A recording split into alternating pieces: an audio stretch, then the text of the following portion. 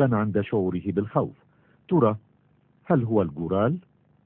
يصدر الجورال صوت عطاس عند شعوره بالخوف وهو يعيش في الجبال الصينية.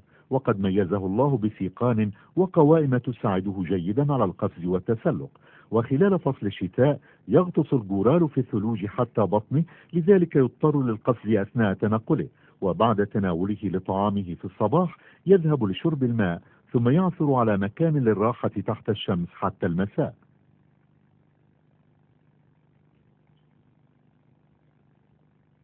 ينتمي التاكن إلى نفس الفصيلة ويقطن سلال الجبال الصينية حادة الانحدار. ويتغذى خلال فترة ما بعد الظهر على الأغصان والأوراق وبراعم الخيزران.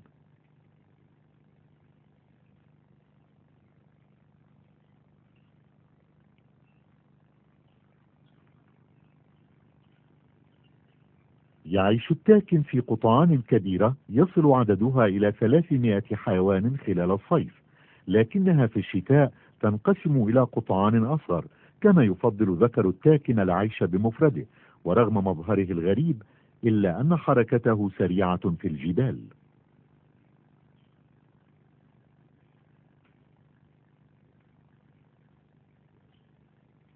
يصطاد السكان المحليون التاكن كطعام لهم. لكن التاكن ليس حيواننا السري فحيواننا السري تعرض